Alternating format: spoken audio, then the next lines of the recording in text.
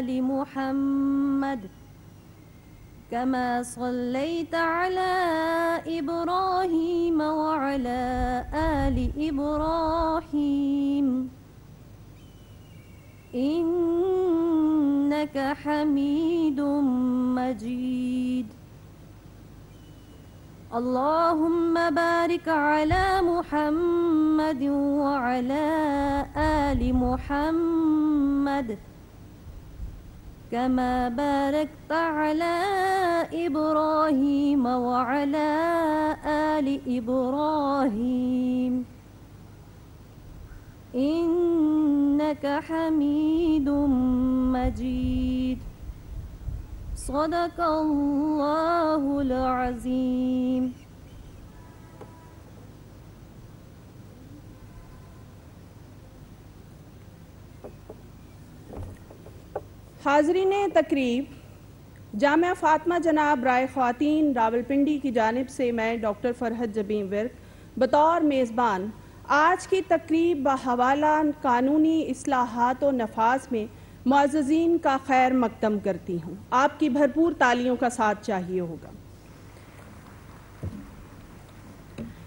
तकरीब का बाजाबता आगाज़ खुतबा इस्तकबालिया से करते हैं। इस खिताब के लिए कानून के मैदान का मोतबर हवाला तशरीफ़ लाएँगी। आप अगस्त 2018 से पाकिस्तान की कौमी असम्बली की रुकन हैं। और पार्लिमानी सेक्रेटरी ब्राय कानून और इंसाफ के तौर पर खिदमात सर अंजाम दे रही हैं। आज हम जिस कानून की आगाही व आगही के लिए यहाँ मुजतम हुए हैं, उसका आगाज़ इन्होंने इस मुसवदे को बनाने के लिए वज़ीर कानून बैरिस्टर डॉक्टर फ़िरोग नसीम की बाहमी मुशावरत से तश्कील दिया। आप सबकी भरपूर तालियों में तशरीफ़ लाती हैं बैरिस्टर मलिका बुखारी साहिबा।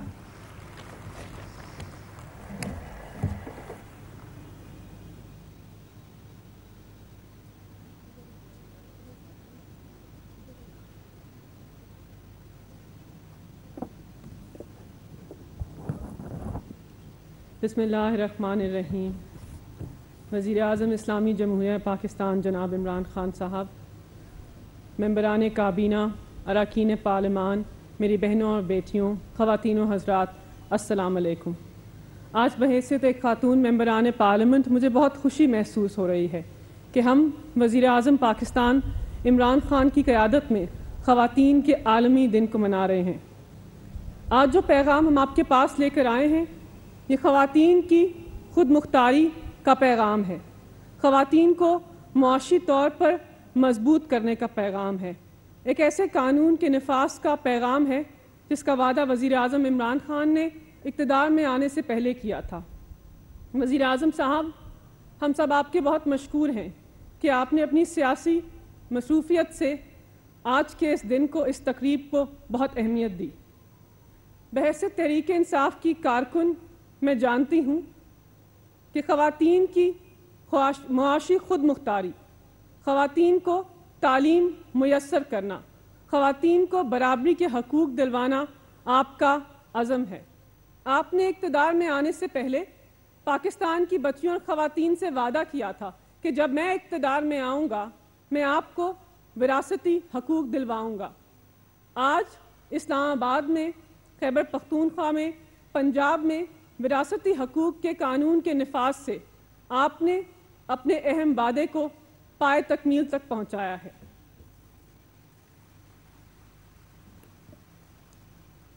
आज ख़वातीन का आलमी दिन दुनिया भर में जोश से मनाया जा रहा है। पाकिस्तान भी एक मज़बूत जमहूरियत है।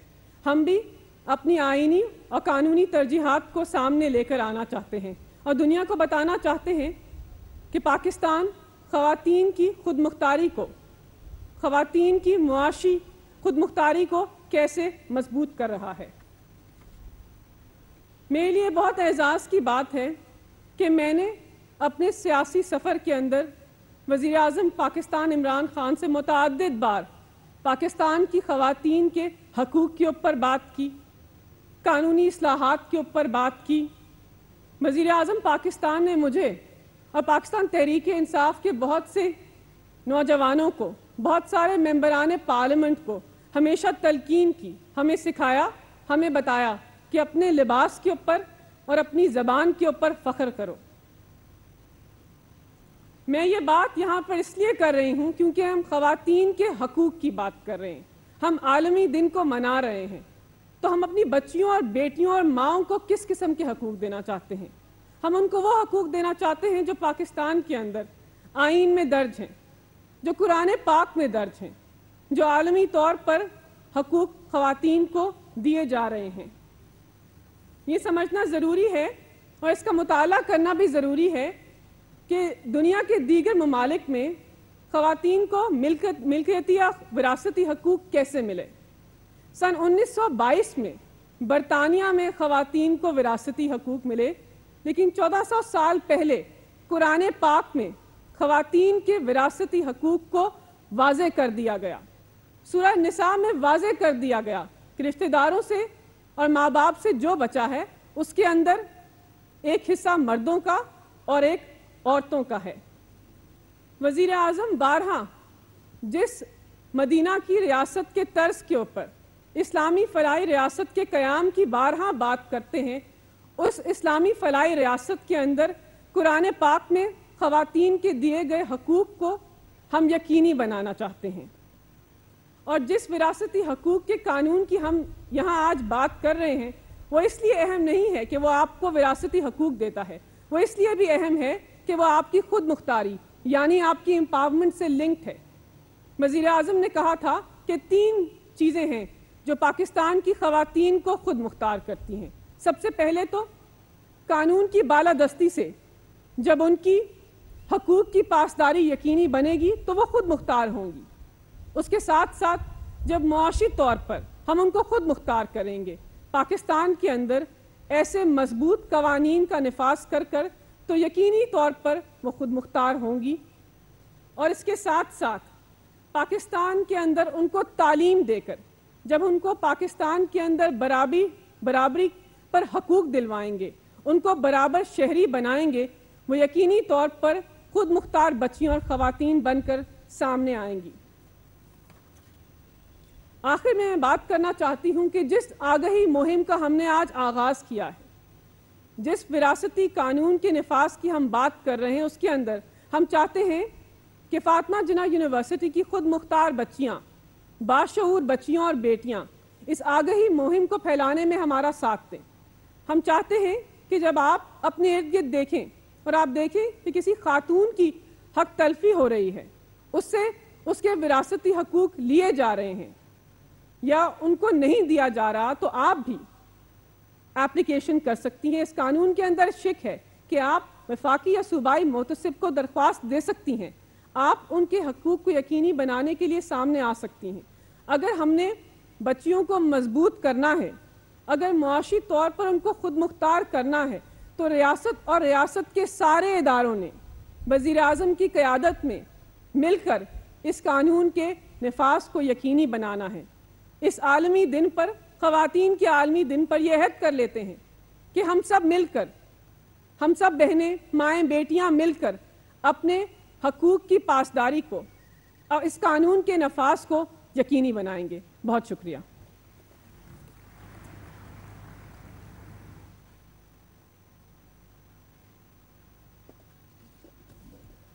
समाज की तरक्की और खुशहाली यकीनन सनवियत के फ़ाल किरदार में है और सनवियत से मुराद मर्द जन हैं। आज हम एक डॉक्यूमेंट्री मुलाहजा फरमाएँगे, ऐसी दस्तावेजी फ़िल्म कि जिसमें हकूक़ इमलाक की फ़ालियत के हवाले से पेशकारी की गई है। मुलाहजा कीजिए हकूक़ इमलाक पर मबनी एक दस्तावेजी फ़िल्म।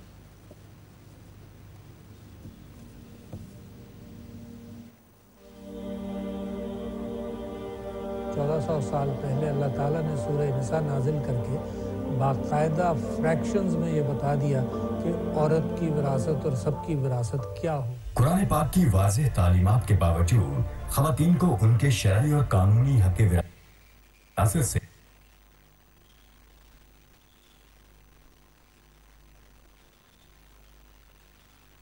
उनसे लिखवा लेते हैं कि हम सुपक दोष हो गए। वज़ीर आज़म इमरान खान की जाती दिलचस्पी और सरप्रस्ती के अलावा वफाकी वज़ीर कानून बैरिस्टर फरूक नसीम और पार्लिमानी सेक्रेटरी बरए कानून बैरिस्टर मलिका बुखारी की शबाना रोज मेहनत से खातन को विरासती हकूक देने के कानून ने अमली शक्ल इख्तियार की। खातन के विरासती हकूक के हसूल के लिए पाकिस्तान तहरीक इंसाफ ने एक ऐसा कानून राइज किया है जिससे उनको जायदाद की मुंतकी में आसानी पैदा होगी। जिसका नाम enforcement of women's property rights act 2020 है।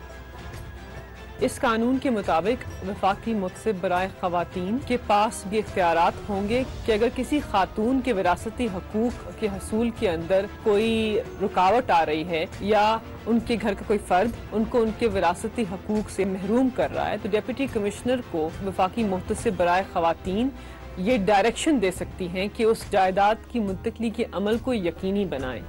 खातन के लिए जायदाद के विरासती सर्टिफिकेट का हसूल अब बहुत आसान हो चुका है। मैं चार साल तक सिविल कोर्ट में जाती रही मगर कोई फैसला नहीं हुआ। तो फिर मैंने लाहौर फाकी मोतसिब के ऑफ़िस में जाकर रबता किया। उधर सिर्फ़ मुझे दो या तीन बार जाना पड़ा और मेरा काम हो गया और मुझे कब्जा मिल गया। मैं दहे दिल से इमरान खान साहब का शुक्रिया अदा करती हूँ जिन्होंने ये कानून साजी करके मुझ जैसी औरतों के विरासत को तहफ़ दिया।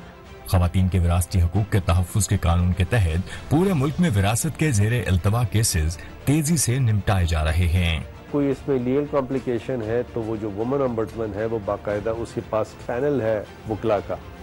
वकला के पैनल से वो एक रेफरेंस बनाएगी।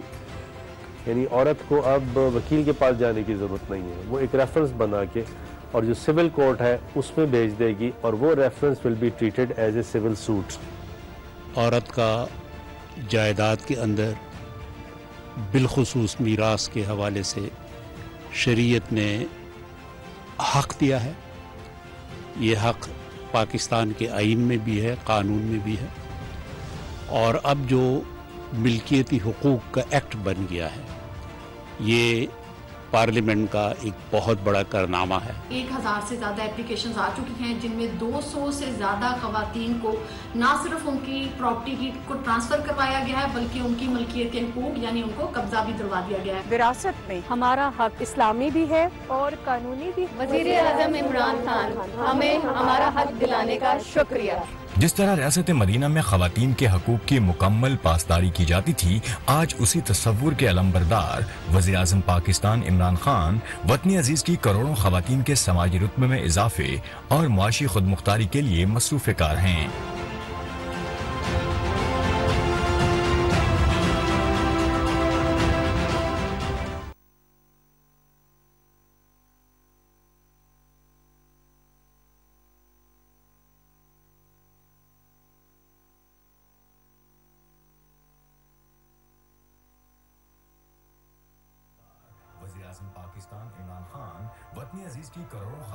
समाजी रुतबे में इजाफे और माशी खुद मुख्तारी के लिए मसरूफ़ कार हैं।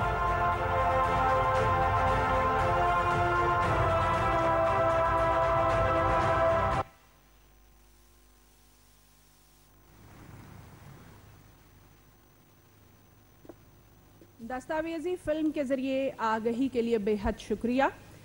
सेनेटर डॉक्टर मोहम्मद फ़िरोग नसीम, एक पाकिस्तानी सियासतदान और बैरिस्टर हैं। जो 20 अगस्त 2018 से वफाकी वज़ीर बरए कानून और इंसाफ के अहदे पर फायज हैं। आप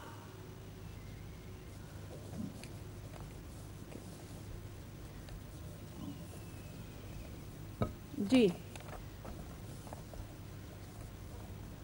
अब मैं दावत दूँगी वज़ीर दाखिला जनाब शेख रशीद साहब को कि वो इस सिलसिले में अपने ख्याल का इजहार फरमाएँ।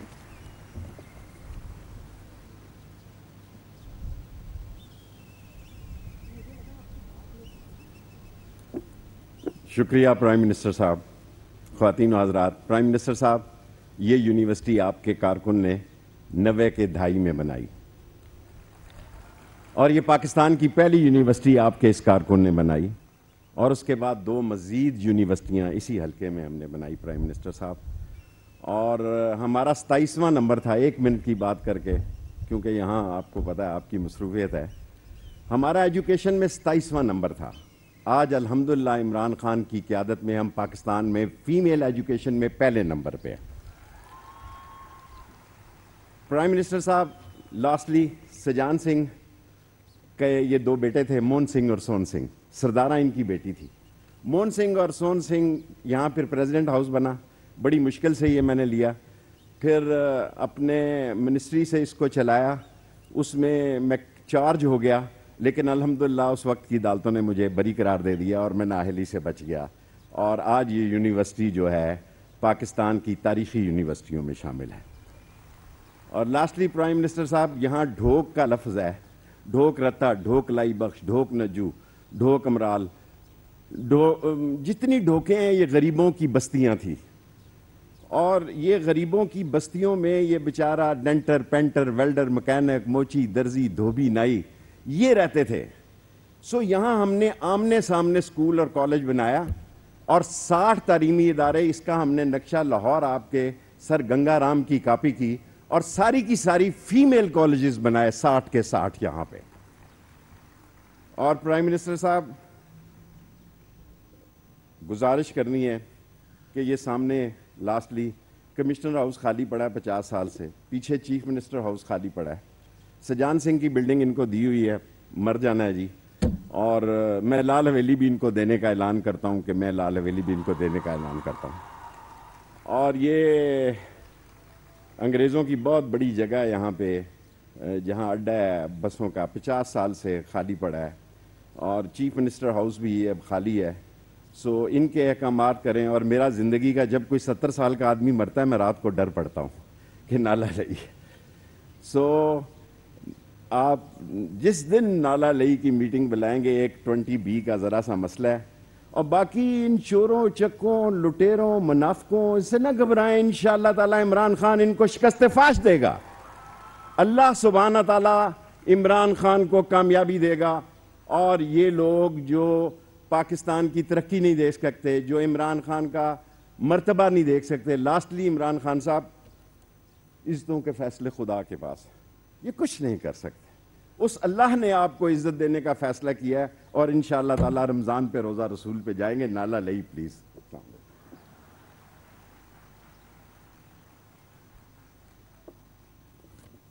जी, बेहद शुक्रिया।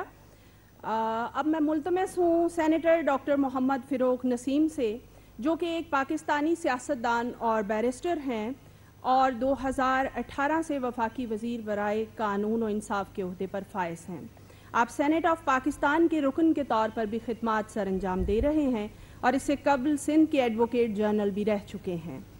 बैरिस्टर साहब ने पाकिस्तान तहरीक इंसाफ के प्लेटफॉर्म के तहत कानूनी असलाहत की तरमीम की जैल में कलीदी किरदार अदा किया है, जिसके तहत आज civil procedure law anti rape law का इनका और वरासती हकूक़ के नफाज व फालियत का सेहरा इनके सर जाता है। आप सबकी भरपूर तालियों में सेनेटर डॉक्टर मोहम्मद फ़िरोक नसीम साहब।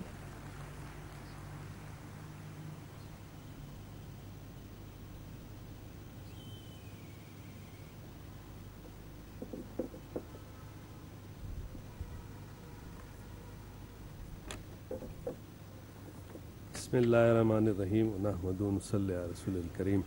जनाब प्राइम मिनिस्टर इमरान खान साहब, दीगर मोज़ ख़वान हजरात, और बिलखसूस हमारी बहन वाइस चांसलर जनाब फातमा जना यूनिवर्सिटी, और आप तमाम जो तलबा हैं इस यूनिवर्सिटी की, आप सबको मेरा सलाम। और वाइस चांसलर साहबा, आपका और आपकी तलबा का बहुत शुक्रिया कि आपने इस बड़े बीफिटिंग डे पे इंटरनेशनल वुमेन डे पे ये आपने एक ज़बरदस्त प्रोग्राम रखा है। आ, अगर थोड़ा सा एक मिनट के लिए देखें कि ख़वातीन की जो प्रॉपर्टी राइट्स थी वो उसका सेहरा किस पे जाता है? उसका सेहरा मॉडर्न डे टाइम्स में जाता है हजूर पाक वसल्लम पे और किसी पे नहीं जाता। और उसकी वजह ये देखिए कि प्री अरेबिया में प्री इस्लामिक अरेबिया में बच्चियाँ पैदा होती थीं, उनको दफना दिया जाता था। यहाँ इस खत्े में औरत जो है, वो ज़िंदा है, मियाँ उसका मर गया है तो वो उसके साथ उसको दफन कर दिया जाता था। आज भी कारोकारी और पुराने पाक से शादी कराने का किस्सा सिंध में भी है, साउथ पंजाब में भी है। तो पहली दफ़ा हजूर पाक सल्लल्लाहु अलैहि वसल्लम ने मॉडर्न टाइम्स में अगर आप देखें तो ये बुनियाद रखी कि ख़वातीन की इक्वालिटी क्या होगी और उनको प्रॉपर्टी राइट्स इनहेरिटेंस में मिलेंगे। प्रॉपर्टी रखने की इजाज़त नहीं हुआ करती थी। ये सिर्फ़ इनहेरिटेंस की बात नहीं है। वेस्ट में और दीगर जगह ख़वातीन प्रॉपर्टी ओन नहीं कर सकती थी। उस सारे गलत निज़ाम को, समझिए फैशस निज़ाम को, जिससे मेल शोवनिज़म आती है हजूर पाक वसल्लम ने उसको पाश पाश कर दिया। तो आज अगर हम ये खड़े हुए हैं तो वो फ़लसफ़ा है हजूर पाक वसल्लम का। और आप ये देखिए कि जब ये हुकूमत आई तो बहुत से टास्क दिए गए, हंड्रेड डेज़ में लॉज भी बनाए। प्राइम मिनिस्टर साहब, मैंने सारे स्ट्रक्चरल चेंजेस कर दिए हैं। ख़वातीन में स्ट्रक्चरल चेंजेस की आपको मिसाल इस तरह दी जाए कि आज से पौने चार साल पहले, यानी आपके आने से पहले, या मेरे लॉ मिनिस्टर बनने से पहले, ये ख्वाब ख्यालों की बातें थीं कि पंद्रह पंद्रह दिन में या साठ साठ दिन में इतने दकीक मुकदमात के फ़ैसले हों। इनहेरिटेंस नादरा वाला जो कानून हम लेके आए, बड़ी मजम्मत की लोगों ने, करते रहे। हमें तो अल्लाह की ज़ात को देखना है और हजूर पाक वसल्लम के मैसेज को देखना है। और उसमें क्या था? उसमें यह था कि अब जहाँ पे पाँच से सात, आठ, दस साल लगा करते थे, अब पंद्रह दिन में नादरा जो है वो सर्टिफिकेट्स सक्सेशन के और लेटर ऑफ़ एडमिनिस्ट्रेशन दे रही है दुनिया जहाँ में। ये ये समझिए, ये ये कॉम्प्रहेंड कीजिए। इतनी ज़बरदस्त ये स्ट्रक्चरल चेंजेस हैं। और ये वाला जो कानून है वुमेन प्रॉपर्टी राइट्स वाला, अगर मैं ये कहूँ कि सत्तर पचहत्तर साल पाकिस्तान और इंडिया भी मिला लें, पूरी दुनिया में ला लें इससे ज़्यादा पावरफुल स्टैचूट लॉ नहीं आया। और वो क्या है? यानी on an average 50 percent population है ख़वातीन की, और 50 परसेंट पॉपुलेशन को प्रॉपर्टी राइट्स नहीं मिलते पोजेसरी राइट्स नहीं मिलते। और ये ना सिर्फ़ आ, हमारी अदालतों की दुनिया जहाँ की अदालतों की हमारी जूरिस्प्रूडेंस की बल्कि कुरान हदीस का फ़ैसला ये है कि जब भी किसी को एम्पावर करना हो तो फाइनेंशियल एम्पावरमेंट बहुत ज़रूरी है। और जब तक ख़वातीन को फिनेंशियली एम्पावर नहीं किया जाएगा तो फिर दिल्ली दूरस्त फिर कुछ नहीं होता। और ये वो कानून है जिसके तहत देखिए जब कभी बाप मर जाता है तो बच्ची को, बेटी को उसकी जायदाद जो है नहीं मिलती। कोई भाई, कोई मामू, कोई चचा कब्ज़ा करके बैठ जाता है और उसको या तो झूठ बोल देता है या अपने ज़ोर बाजू से उसको वो चीज़ लेने नहीं देता। अब ये कानून ये है कि चाहे वो ख़ातून, चाहे वो किसी भी स्टेटस की हो, अमीर हो, गरीब हो, पढ़ी लिखी हो, गैर पढ़ी लिखी हो या तो वो खुद एप्लीकेशन दे किसको? वुमन अम्बड्समैन को। या कोई एनजीओ दे दे, कोई इसकी सहेली दे दे, या आप लोग दे दें। आप यूँ समझिए कि इस कानून की टाइगर फोर्स आप लोग हैं। आप लोग ने इस कानून को सही तरह डाइजेस्ट करना है और फैल जाना है, ताकि ये कवानीन, ये कानून जो है, ख़वातीन की सही दाद रसी कर सकें। सबसे पहली बात इसमें क्या है? आगही एक तो इसकी आगही होनी ही है। और जैसे ही एप्लीकेशन जाएगी, समझिए कि पंद्रह दिन के अंदर अंदर, जो डिप्टी कमिश्नर साहब हैं, उनको वुमन अम्बड्समैन कहेगी प्रिलिमिनरी असेसमेंट फ़ौरन करें। और ज़्यादातर ये 90 95 परसेंट चीज़ें बड़ी क्लियर हैं। और 95 परसेंट चीज़ें ये हैं कि ये फॉर एग्ज़ाम्पल एक साहब मरे, ये सूर्य नसा के हिसाब से ये हिस्सा उस खातून का है, उसको मिलना चाहिए। रेंट मिलना चाहिए, उसके राइट मिलने चाहिए। और पंद्रह दिन के बाद जब वो प्रिलिमिनरी असेसमेंट कर ले तो रिपोर्ट दे। और अगर ज़रा सा कॉम्प्लिकेटेड केस है तो उसमें एक मज़ीद मुशावरत करने के बाद साठ दिन के अंदर फैसला करना है वुमन अम्बर्ड्समैन ने। और और अगर कॉम्प्लिकेटेड केस है तो वुमन अम्बर्ड्समैन ने एक रेफरेंस बना के सिविल अदालत में फ़ाइल कर देना है। यानी आपको हर तरह से प्रोटेक्शन है, वकील, कचहरी, धक्के, खाना नहीं ना ना ना, कुछ नहीं। अब इसकी आगही आपने लेनी है। मैं वज़ी अजम साहब, आप, आपके सामने दो आपकी वमेन अम्बड्समैन ख़वातीन हैं, उनकी बड़ी तारीफ़ पेश करता हूँ। एक नबीला साहिबा यहाँ बैठी हैं, ये पंजाब की वुमन अम्बड्समैन है। हज़ारों फैसले कर दिए इन्होंने। She is already done it दूसरी तरफ़ रक्षंदा साहिबा हैं के पी से अनादा वुमन अम्बड्समैन कितने सैकड़ों फैसले उन्होंने कर दिए। अब प्रॉब्लम कहाँ आ रही है? जहाँ आपको पीएम ऑफ़िस को वज़ी अजम साहब, आपको ज़रा सा लॉन्ग हैंडल इस्तेमाल करना पड़ेगा। वो ये है कि जो जो डीसी हजरात हैं, उनको ज़रा कोऑपरेट करने की ज़रूरत है। ये तो नबीला साहिबा तो बड़ी शेर हैं, ये कंटेम्प्ट नोटिस भी उनको दे देती हैं। मुझसे बात हुई, मैंने कहा कंटेम्प्ट भी दो और जेल भेजो ऐसे लोगों को। जो कि लथार्जी कर रहे हैं। और या मिल जाए पीछे से तो ये मेरे मेरे भाई हैं आप ब्यूरोक्रेसी वाले, मेरी आपसे इस्तदा है कि प्लीज़ इसको इम्प्लीमेंट करें। आपके घर में भी बहनें हैं, माएँ हैं, बेटियाँ वाले हैं तो ये आप अगर सही सही तौर पे इसको इम्प्लीमेंट कर देंगे तो ये समझिए कि 50 परसेंट जो पॉपुलेशन है, उसकी दाद रज़ी तो दाद रसी तो कर दी गई है। वज़ीर as as law minister civil procedure में बड़ी ज़बरदस्त अमेंडमेंट्स हो गई हैं। क्रिमिनल अमेंडमेंट्स हैं क्रिमिनल लॉ में 700 साढ़े सात सौ अमेंडमेंट्स हैं, बिल्कुल फेस लिफ्ट कर दिया है, तमाम स्ट्रक्चरल चेंजेस कर दिए हैं। लीगल एड अथॉरिटी का अमेंडमेंट जो किया गया है, उसमें यह है कि औरतों को और बच्चों को ख़ास तौर पे प्रेफरेंस क्रिमिनल केस में दी जाएगी लीगल एड में। और एंटी रेप एंटी रेप का जो लॉ पास किया है और उसके सम्राट भी आप देख रहे हैं तो ये तमाम के तमाम स्ट्रक्चरल चेंजेस कर दिए गए हैं। इन दी एंड मैं सिर्फ़ गुजारिश एक दफ़ा फिर से ये करूँगा कि ये इसकी आगही बहुत ज़रूरी है।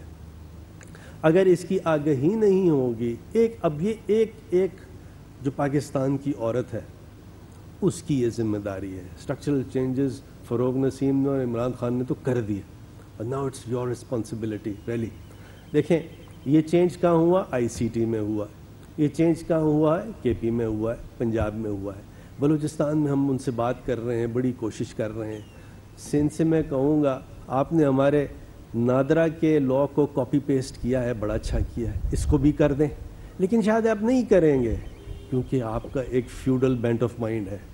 जो 50 परसेंट पॉपुलेशन है सिंध की, उसको ये पता होना चाहिए कि वहाँ के जो हुक्मरान जो हैं, वो बिल्कुल आपकी ख़वातीन की दाद रसी नहीं करना चाहते इन दी एंड वज़ी अजम साहब और all participants thank you very much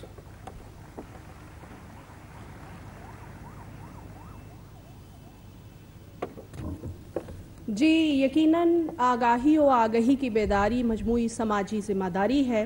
हाजरीन महफिल, आज हमारी कामयाब खातून के लिए वज़ी अजम इस्लामी जमहूरिया पाकिस्तान की जानब से चेक और तकसीम इसनाद का सिलसिला शुरू करते हैं।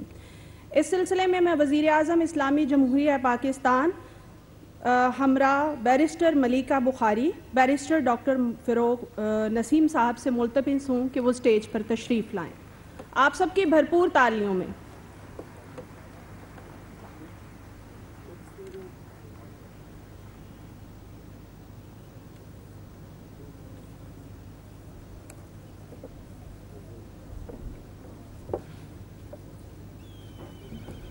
जी, सबसे पहले चेक्स की तकसीम का सिलसिला शुरू करते हैं।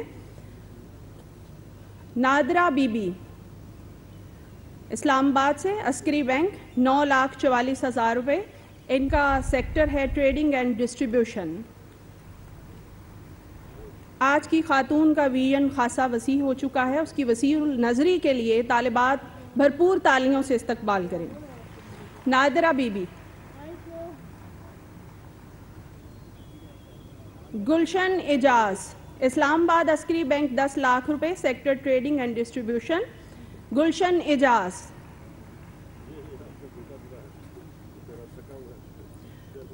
Vishal Fatima Islamabad Askari bank 10 lakh रुपए sector trading and distribution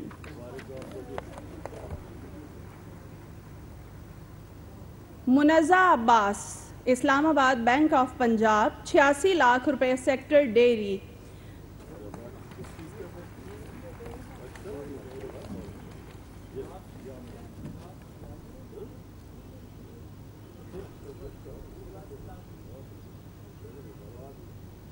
जी तकसीम असनाद का सिलसिला शुरू करते हैं। फातमा जनाब वुमेन यूनिवर्सिटी, रावलपिंडी से contemporary textile designing with fashion and interior to Gulrukh Huma Gulrukh Huma Sara Anwar, पहला इनाम artificial intelligence robotic to Fatima Jinnah women university Rawalpindi Iram Shahzadi graphic designing Fatima Jinnah women university Rawalpindi पहला इनाम। Manahil Ali. Big data analytic technique to Fatima Jinnah women university Rawalpindi Zainab Dukhtar Zahid Mahmood artificial intelligence robotic to Fatima Jinnah women university Rawalpindi और भरपूर तालियाँ बजाइए, तकसीम इसनाद का सिलसिला ख़त्म हुआ।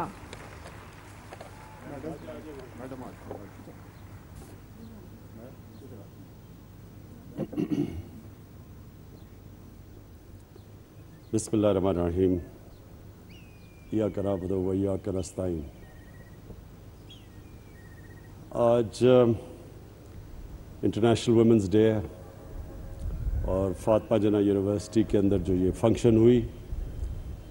आ, मैं इस फ़ंक्शन में आते हुए जितने भी हमारी ख़वातीन हैं पाकिस्तान में मैं उनको ये पैगाम देना चाहता हूँ कि इन जब इस मुल्क की तारीख लिखी जाएगी तो जिस गवर्नमेंट ने दिल से वोट लेने के लिए नहीं, दिल से अपनी खातन को एम्पावर किया, यानी उनको अपने पैर पे खड़ा किया, वो इन ये हमारी हुकूमत होगी। सबसे पहले मैं आपको एक बहुत अजीम मुसलमानों का स्कॉलर थे, जिनको इब्ने खालदून कहते थे। ये मॉडर्न हिस्ट्री के बाप समझे जाते हैं। आज से 800 साल पहले इन्होंने एक बात कही थी। इन्होंने कहा, मैंने जितनी भी कुरान शरीफ का मुताला किया है, मैं एक नतीजे पे पहुँचा हूँ कि अल्लाह ने इंसान को दुनिया में भेजा ही एक मकसद के लिए और वो है कि उसकी ज़मीन पे इंसाफ कायम करना। यानी इस इंसाफ को उसने इबादत इबादत का रुतबा दिया है। तो जब हम अपने ख़वातीन की विरासत के राइट्स की बात करते हैं तो जिस तरह अभी फ़ारुख नसीम ने भी बात की और मलिका बुखारी ने भी की कि हमें ये समझ, पता चलना चाहिए, हमें इस चीज़ की समझ होनी चाहिए कि हमारे नबी सल्लल्लाहु अलैहि वसल्लम ने आज से तकरीबन 1500 साल पहले औरतों को राइट्स दिए थे इनहेरिटेंस के। और ये 1920 में यूरोप के अंदर और बरतानिया के अंदर तब औरतों को इनहेरिटेंस राइट्स मिलने शुरू हुए थे। लेकिन मुझे अफसोस से कहना पड़ता है कि इस चीज़ के बावजूद पाकिस्तान में अक्सर खातन को उनके राइट्स नहीं मिलते। मेरा हल्का मियाँ वाली तो मैं जब मियाँ वाली के अंदर देहाती हल्के में फिरता था तो वहाँ तो कोई तस्वुर ही नहीं था कि औरत, औरतों को उनका हक देना जायदाद के अंदर। वो तो यानी मैंने उनको कई दफ़ा कहा कि ये तो अल्लाह का हुक्म है। लेकिन वहाँ तो कोई तस्वर ही नहीं था। और बदकस्मती से ये हमारी जो ट्रेडिशन आई है, ये हिंदुस्तान से आई है कि जिस तरह अभी बात की गई कि औरतों को तो जब मर, जब आदमी खामद मरता था तो एक कई सौ साल पहले उनकी तो ट्रेडिशन ये थी कि औरत साथ उसको मार देते थे, वो जल जाती थी, उसे जला देते थे। सती कर देते थे। आदमी जब जाता था तो वो, जब लोग मुसलमान भी हुए तो ये जेनों में ये पुराना वो जो सिस्टम रह गया कि औरत तो एक प्रॉपर्टी एक आदमी की कंसिडर की जाती थी। तो लिहाजा इस इस वजह से ये हमारे, अभी इन्होंने जो फ़र्क नसीम ने बात की, आप जिस तरह साउथ चले जाएँ, जो फ्यूडल सिस्टम है ये फ्यूडल सिस्टम के अंदर औरतों को राइट्स नहीं है। और इसलिए ये हमने कानून तो बना दिया, लेकिन अब ये सारे माशरे ने इसको इम्प्लीमेंट करवाना है। इसके अंदर एडमिनिस्ट्रेशन का भी काम है, इसके अंदर हमारी खातन का आप सबने शूर पैदा करना है, आप पढ़ी लिखी हैं, आपके ऊपर ज़्यादा ज़िम्मेदारी है, कि आप शूर पैदा करें। कि ये अब कानून इजाज़त देता है हमें इन्फोर्स करने के लिए। तो ये एक तो मुझे ये इसकी बड़ी खुशी हुई क्योंकि मैं हमेशा सोचता था कि अल्लाह ने कभी मौका दिया। तो सबसे पहले मैं कोशिश करूँगा कि अपनी खातन को एम्पावर करें, उनका राइट है इनहेरिटेंस का। उसके साथ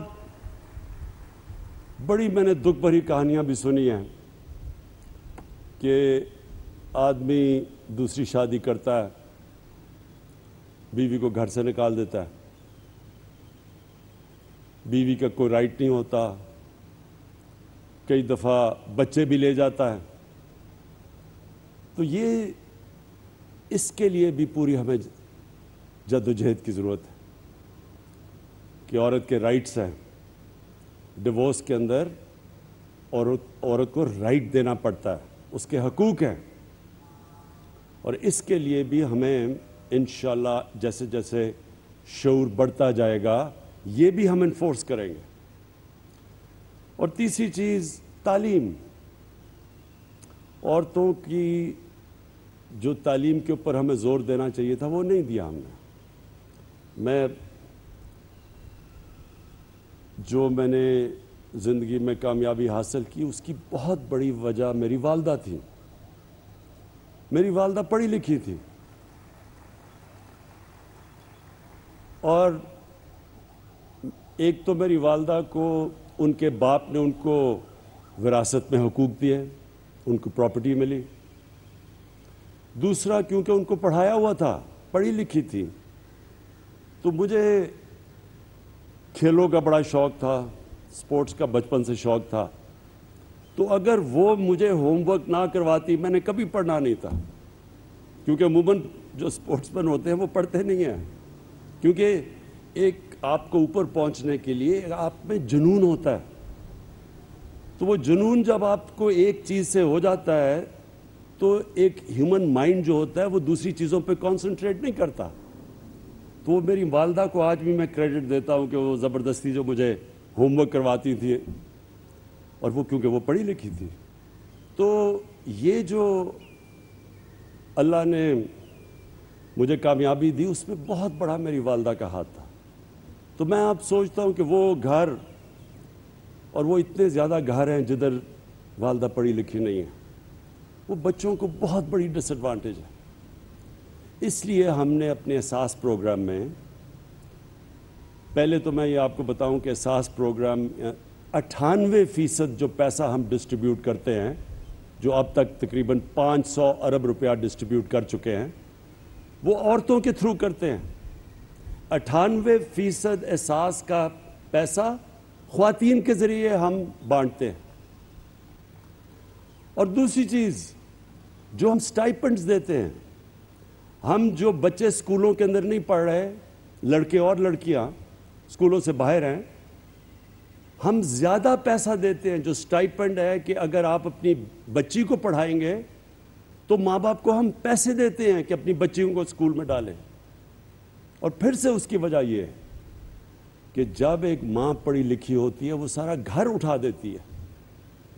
मेरे मियाँ वाली में जब मैं कैंपेन करता था तो वहाँ हमारा एक ईसा खेल की तहसील है। वो बिल्कुल कोने पे है। तो वहाँ ना कोई टीचर्स जाते थे पंजाब से।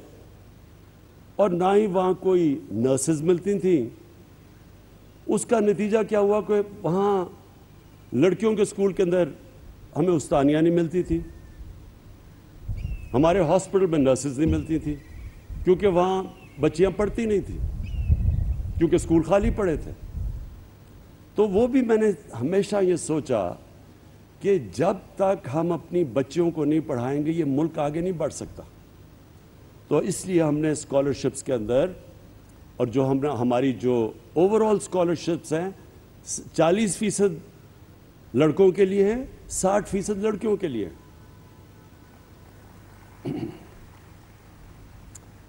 अब मैं दो और बातें करता हूँ।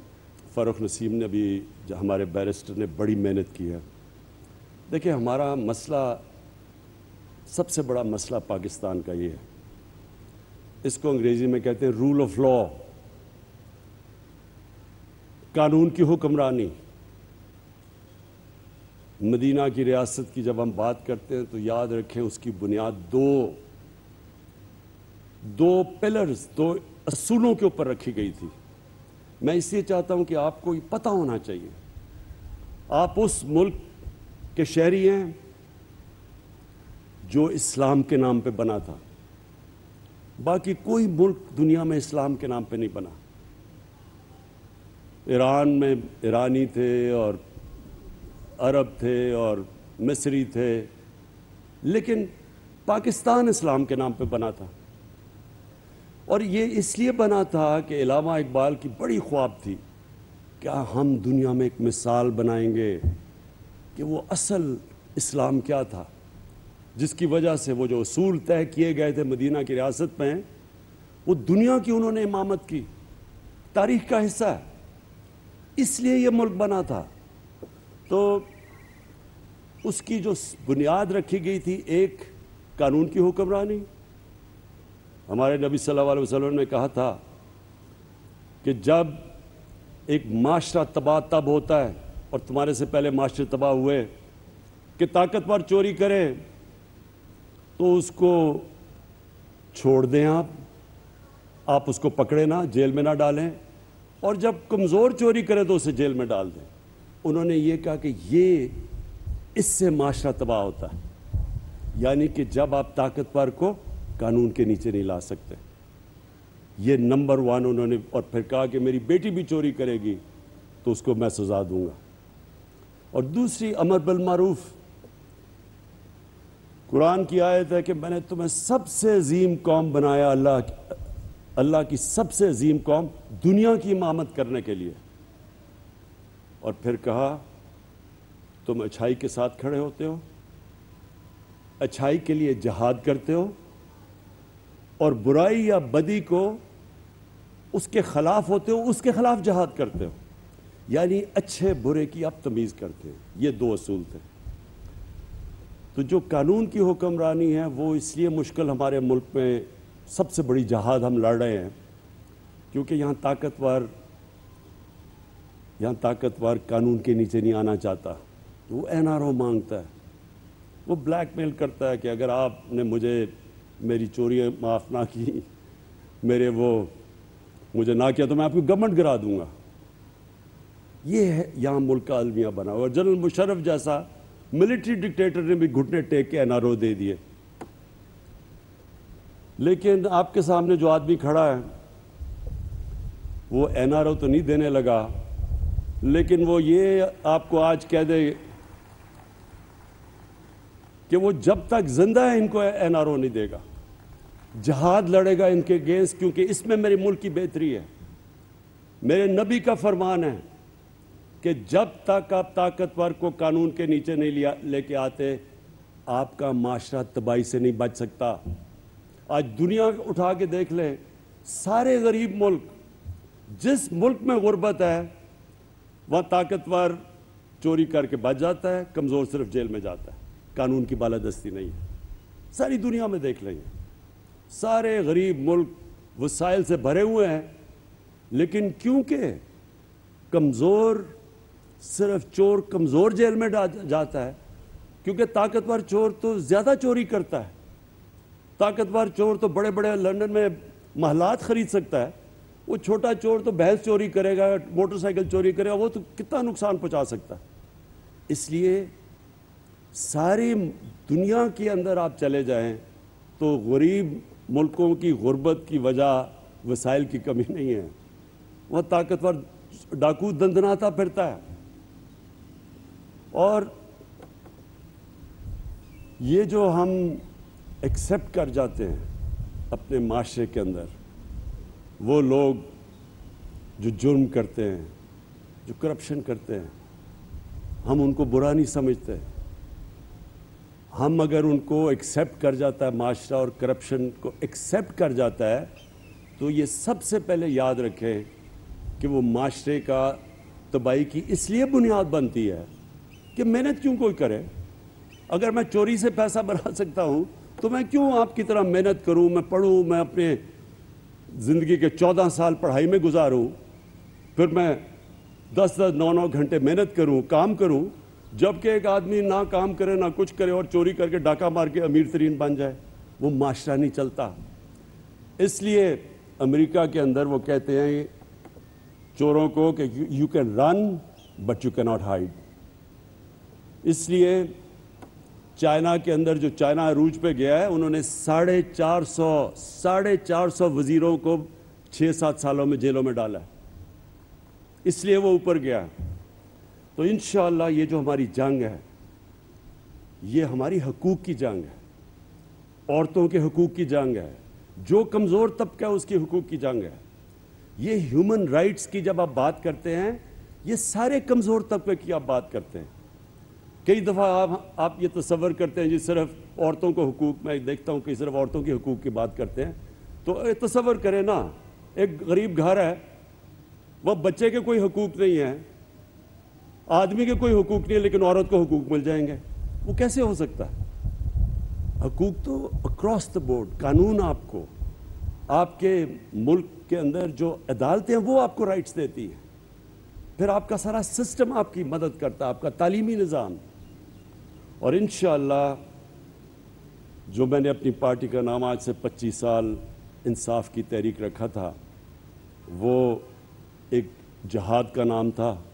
25 साल से जहाद लड़ रहा हूँ और इन मुझे कभी शक नहीं है कि मेरे अल्लाह ने हर चीज़ जो मैंने की है, उसने मुझे कामयाब किया है। इसमें भी वो मुझे कामयाब करेगा।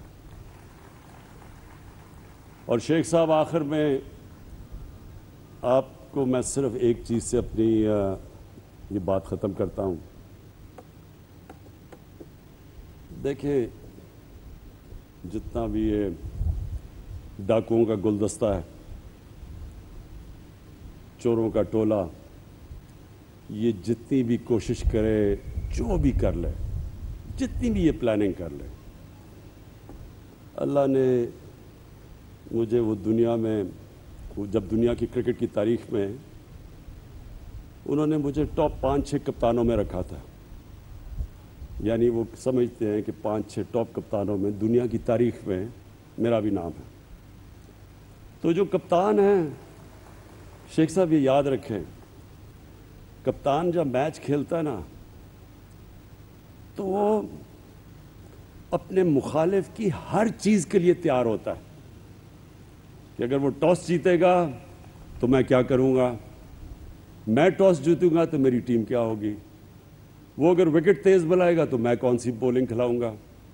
यानी हर चीज़ की, ये जो भी ये मुखालिफ मेरे हैं, ये चोरों का टोला, डाकुओं का पुलंदा, गुलदस्ता, ये जो भी करेंगे शेख साहब, मैं इनके लिए तैयार हूँ। शुक्रिया। आलमी योम नस्वा की मुनासबत से फातिमा जना यूनिवर्सिटी में तकरीब का इनका तकरीब का इनका हकूक नस्वा के लिए हुकूमती इकदाम उजागर करने के लिए किया गया। वज़ीर अजम इमरान खान तकरीब से खिताब कर रहे थे। उन्होंने कहा कि बच्चियों को तालीम दिए बगैर मुल्क आगे नहीं बढ़ सकता। अल्लाह ने इंसाफ को इबादत का रुतबा दिया है। पाकिस्तान तहरीक इंसाफ ने खातन को